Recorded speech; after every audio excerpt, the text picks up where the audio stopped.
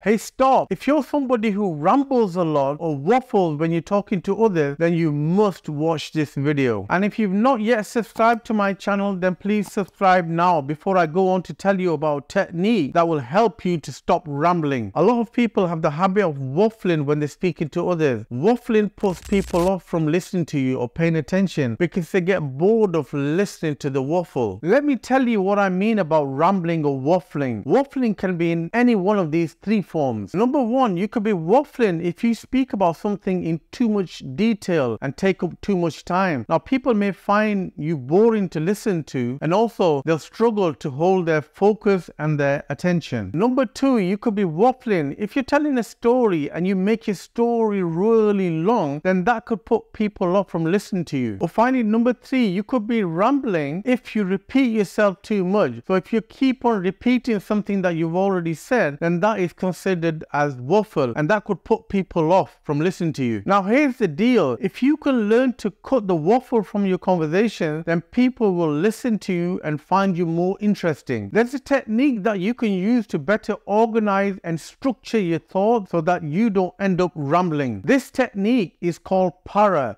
P A R a. P stands for point and this is when you present your point in front of people. So for example, my point could be that giving up carbs and exercising daily can really help you to lose weight. A stands for action. So for example, I can say that during the last two months, I've cut down on my carbs and I've been walking for 30 minutes every day. So these were my actions. R stands for result and here you present the results from your action. So I can say, I managed to lose 4 kilograms and I feel a lot better, healthier and happier. A is for ask. This is when you ask people around you a question. So it's a bit like when you're playing tennis, when you hit the ball to others and the others hit the ball back to you, you don't keep hold of that ball, you want to hit it back to them. So I can ask a question, have any of you tried to reduce your carb and exercise daily? What have you noticed? So remember to use the para technique to organize your thoughts and to organize your conversation